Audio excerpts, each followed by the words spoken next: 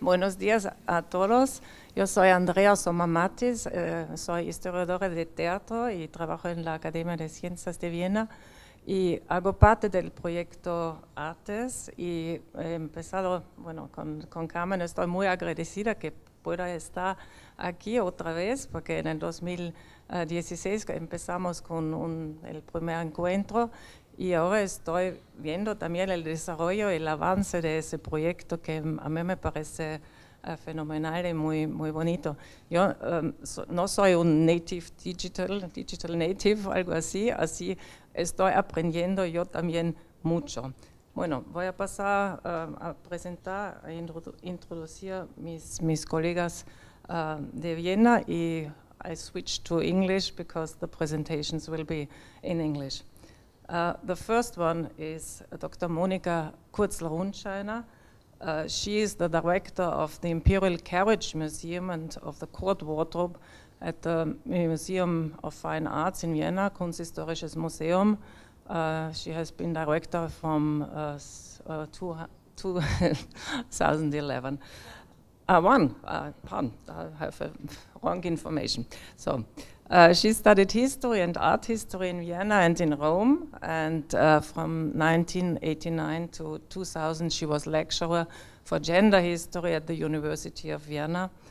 And uh, at the same time, before becoming director of the Imperial Carriage Museum, she already worked as a curator at the Kunsthistorisches Museum. Uh, since then, she has been leading a large number of research projects, and she's counselor and member of uh, uh, several international research institutions. And uh, in this function, she has curated um, a lot of exhibitions in Austria and also abroad. And among them, the most recent ones in, uh, have been in, in, Minneapolis, Houston, and Atlanta, um, Habsburg Splendor, masterpieces from Vienna's Imperial Collections in 2014. In the same year, in the uh, Imperial Carriage Museum in Vienna, um, very interesting and beautiful exhibition on the coaching the Congress along rent carriages, pleasure cruises, and luxury outfits at the Congress of Vienna in 1814, 1815, 19th century. And on the anniversary of um, um, the Empress Maria Theresia, in uh, 2017, there was another uh, exhibition on high office and high spirits at the Imperial Carriage Museum. And I think the latest exhibition uh, was called Imperial Speed, High Speed Vehicles of the Habsburgs from 1814 until 2014. The title of our conference today is And They Jingle By Again, Splendid Vehicles of the Habsburgs as a Means for Representation in the 18th Century. So thank you, Andrea, for this nice introduction. As you have heard, I am the director of the Carriage Museum in Vienna, and this means that my main interest in research is about court representation and, of course, also about the role carriages were playing within this uh, court representation. Uh, because what we have in our museum is what remains from the transport pools of the Habsburgs, uh, which uh, in its best periods consisted of about 600 vehicles and as many horses, and was therefore the biggest transport pool in the world. We still have around 200 vehicles uh, remaining in our collection. So here you have an insight in our exhibition hall, which is located uh, at Schönbrunn in the park of Schönbrunn Palace in Vienna.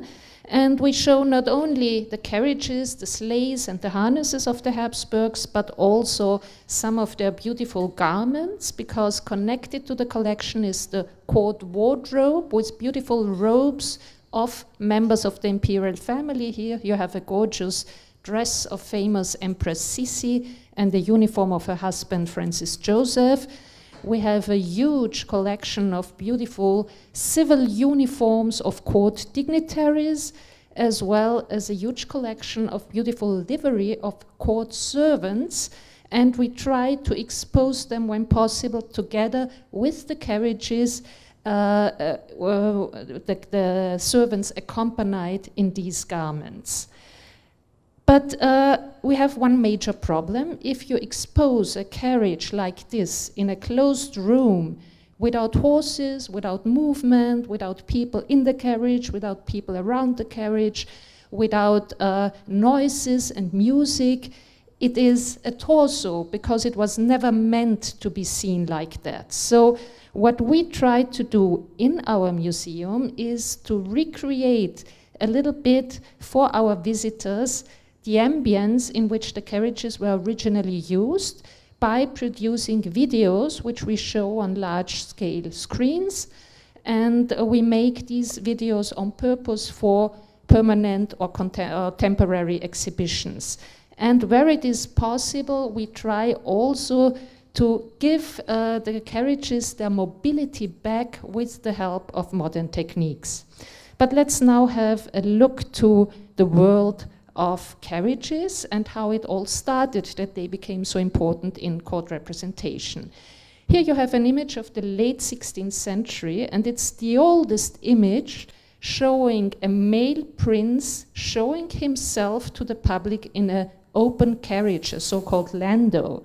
This is quite unusual because in the Middle Ages, the use of carriages was strictly Uh, uh, uh, defined only for women because it was considered to be a sign of weakness using a carriage. So a male ruler had to ride on horseback. And male could only ride a carriage if they were either priests or they were very old or they were sick. So it's quite interesting that already at the end of the 16th century, a male ruler presents himself in this way. It's Archduke Ernest, the governor of the Netherlands. And here it starts that already at the end of the 16th century and in the first half of the 17th century, there are more and more men having pleasure in presenting themselves to the public in the carriages.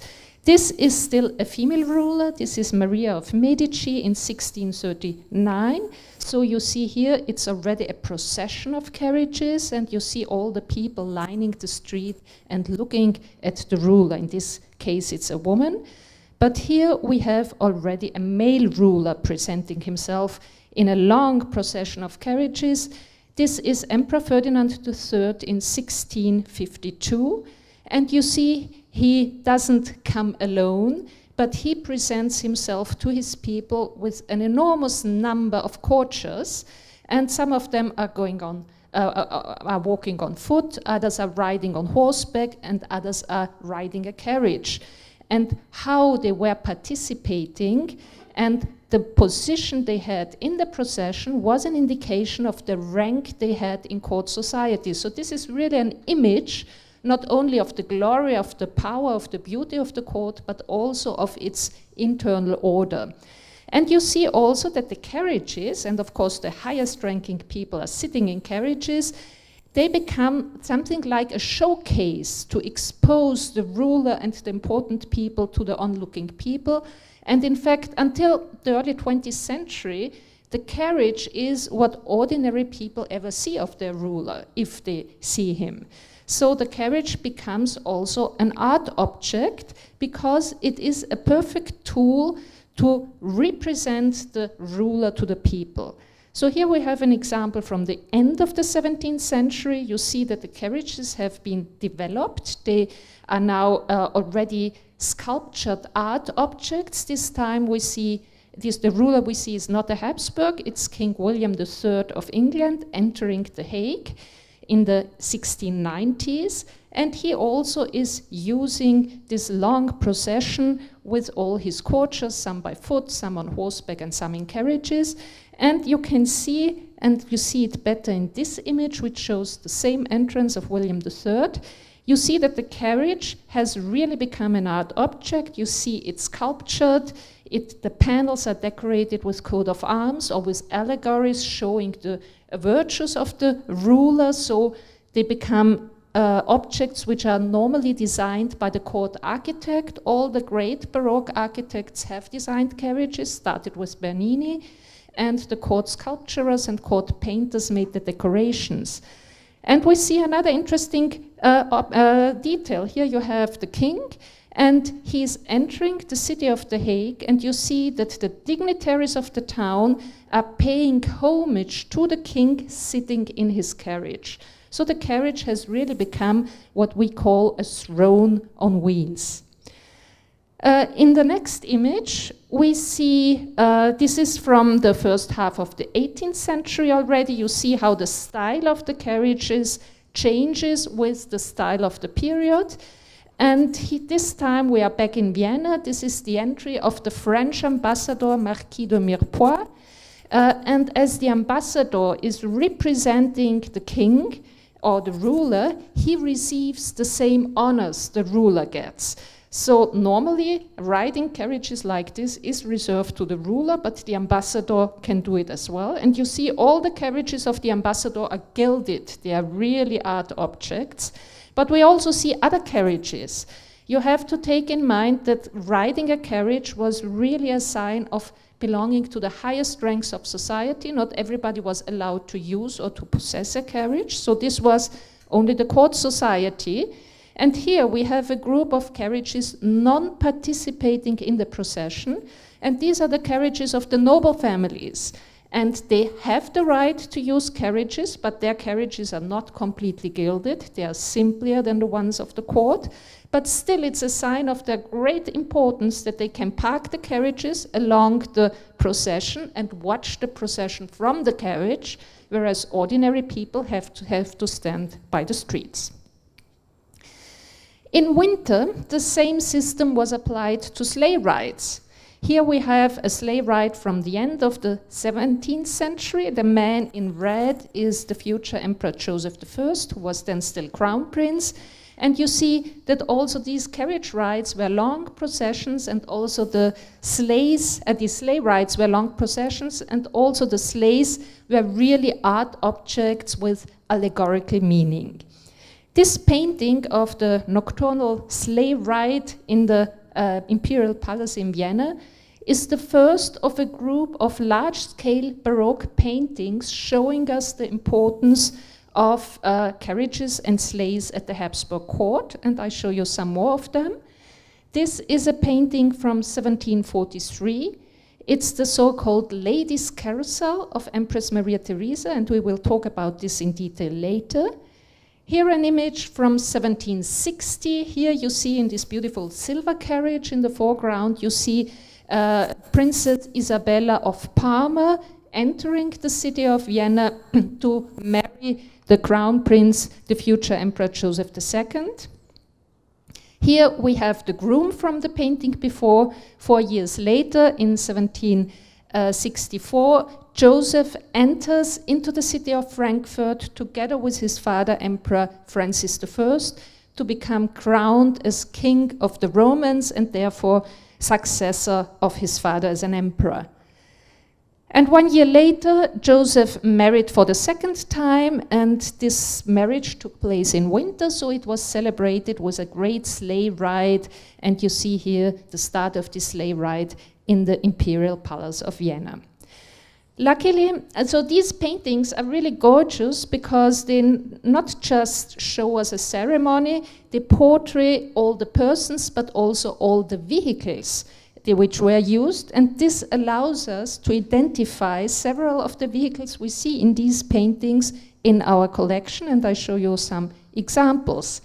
So this is a detail from Maria Theresa's Ladies' Carousel. And look at this small carriage with this shell seat and it is still preserved in our collection, even though it had been gilded in the 19th century, but the sil original silver layer we have seen in the painting is still underneath. Here, a detail from the sleigh ride of 1765. We see here Joseph, the groom, uh, uh, driving a beautiful sleigh. And if you look at this very special decoration with these two points, then you will realize that also this sleigh is still existent in our collection. And here, uh, the entrance of Isabella of Parma, there we see a lot of Berlins, and also some of them have survived in our collection. And as a last example, I show you here once again this picture of uh, our uh, permanent exhibition. In the background, you see the painting of Joseph's entry uh, into Frankfurt for his coronation. And if you look at the detail of the carriage with Joseph and his father in it, and look at the paintings on the panels, you will realize that it is really the carriage you see in front, uh, which is preserved in our collection, even though it had been painted black in the 19th century. But let's now have a look at a very special event, the Ladies' Carousel of Empress Maria Theresa. Maria Theresa, as you all know, was the heir of the last male Habsburg Emperor Charles VI. And when Charles realized that he uh, would be the last Habsburg, that the house would become extinct with him, he tried to ensure the heritage, this enormous legacy for his daughter. And to, on this purpose, he made a lot of treaties with all the other powers in Europe giving them, uh, paying them money, uh, giving them, them uh, lands, uh, privileges, and so on, in order to have them to sign a contract which ensured the legacy of the Habsburgs for Maria Theresa. So, by doing that, he greatly weakened his uh, power. But when he died, it turned out that all these treaties were not worth the paper it, they were written on because all the European powers thought that now that there was only a woman as a heir of the Habsburg Empire, it was the best moment to divide it amongst them. So here is a contemporary print showing all the European powers sitting around the table with a map of the Habsburg lands and dividing them amongst them. And here on the side stands poor Maria Theresa with a little baby, and uh, she is practically not able to help herself.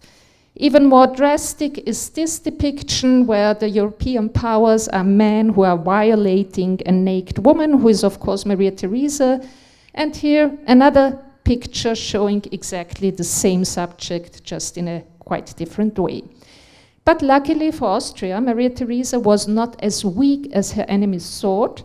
And she turned out to be a very strong ruler, and within a couple of years, she was able to re establish the Habsburg power.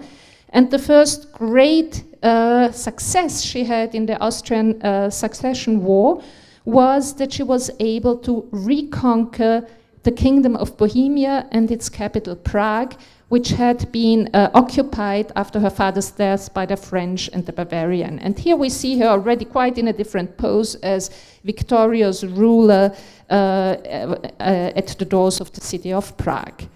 And in order to celebrate this enormous political and military success, she decided to do something very unusual for her time. She decided to organize a ladies' carousel. Why was this so special? The carousel was the modern interpretation of the medieval tournament. But uh, the difference to the tournament was, so men would show their skills with different kind of arms, but the difference to the tournament was that they would not fight against each other and therefore maybe blessing or even killing each other, but they would fight against statues of papier-mâché so it was not dangerous to them. This was very popular in court societies all over Europe in this period, but of course the protagonists were always the men of the court and the women were the spectators.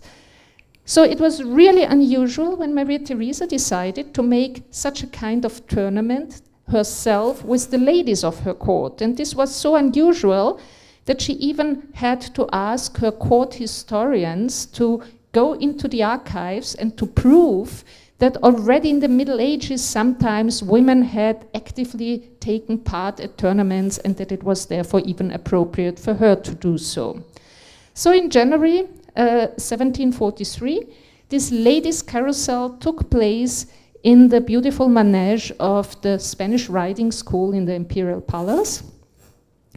And uh, we know that Maria Theresa had a lot of fun doing so. She loved riding, and we know she trained a lot for this event, but she did it not mainly for amusement, but it was a very clear political demonstration. And the message, which was easy to understand for her contemporaries, was that she was a woman, but she was as strong and powerful as any man, as a ruler, and even concerning the skills of war and arms. And so uh, it was important not only to make this event, but also to spread the news about this event and to, to distribute this message all over Europe. And so after the, the event, Maria Theresa was riding through the city of Vienna together with her ladies, showing herself to her subjects. And then uh, the best way to distribute uh, a message in these days was to print leaflets. So there were leaflets printed with a short text and a lot of images showing the ladies fighting in this kind of tournament. Here you see them with the lances, and here from carriages fighting with pistols. And here you see them riding afterwards through the city of Vienna. Then there was a special edition of Vienna's newspaper printed with a very detailed uh, explanation of the whole event. And we even have a lot of unpublished sources like diaries of her courtiers. So this event is really well documented. And in addition, we also have this beautiful large scale painting. And with all these informations from the sources, we can really interpret in a very efficient way nearly every detail we see on this painting. And I will show you some examples. And I think here we are ready in the subject because this gives us a lot of opportunity to bring this unique event alive for modern uh, visitors and for people in the internet. So what do we see here? The painting shows us the beginning of the event when all the ladies entered the hall in a long procession. Then we see uh, here uh, the imperial box with the most important uh, spectator of the event. This is Maria Theresa's mother, widowed Empress Elisabeth Christine, and she sits under the large-scale equestrian painting of her husband, Emperor Charles VI, which is still in this place nowadays. Here we see the musicians, because of course an event like this was accompanied by music. And here we see the jury, so we see the specialists taking notes and uh, then deciding which lady had done the best shot. And then we see uh, the papier-mâché heads they had to catch with their arms here on the wall, and here in the middle we see statues of papier-mâché they had to catch. And then we see another thing. We see altogether uh, 16 ladies participating, and always four of them were building a team. So there were two riding teams and two driving teams, and this is the first riding team, which was led by Maria Theresa herself. She's the lady on the white horse right in the middle of the painting. And you see that all the ladies of a team were dressed in the same color. So Maria Theresa's team was dressed in purple. Here is the second riding team dressed in white. Here is the first driving team. It was led by Maria Theresa's younger sister, Maria Anna, and they were dressed in red. And the second driving team was dressed in blue. And um, for the exhibition on the 300th uh, birthday of Maria Theresa, uh, three years ago, or two and a half years ago, we did the first step to bring this painting and this uh, event alive again uh, by animating uh, the uh, entrance of the ladies.